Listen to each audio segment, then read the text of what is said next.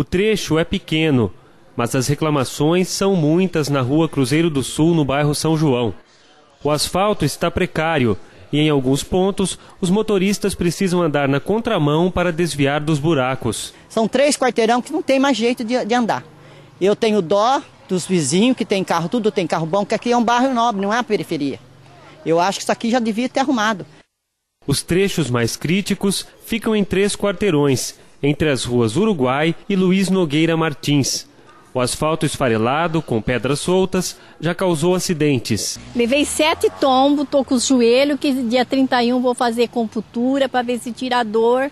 Porque eu passei em quatro médicos e ninguém moeu a rótula do meu joelho, sabe?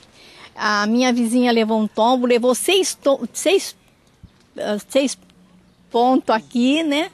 Passou mal pra caramba. A outra quebrou, quebrou o, o braço em dois lugares, eu que socorri. Este morador, que veio para Aracatuba há pouco tempo, está assustado com as condições da rua.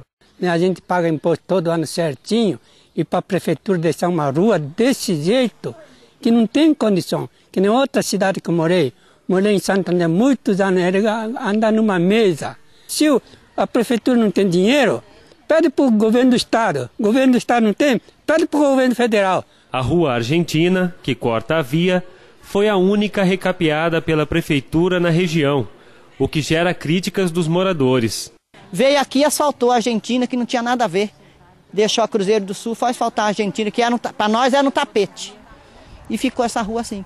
Eu não vou culpar prefeito nem ninguém, isso não é do meu interesse. Mas é o seguinte, às vezes a gente estava rendo se você não correr assim perto do portão, as pedras voam em você. Se tiver com um carro parado, eles vêm nos carros também, né? Eu acho assim, pelo valor venal da minha casa, não é uma casa chique, mas é uma casa boa. E pelo imposto que a gente paga, eu acho que a gente não merece passar por isso, não.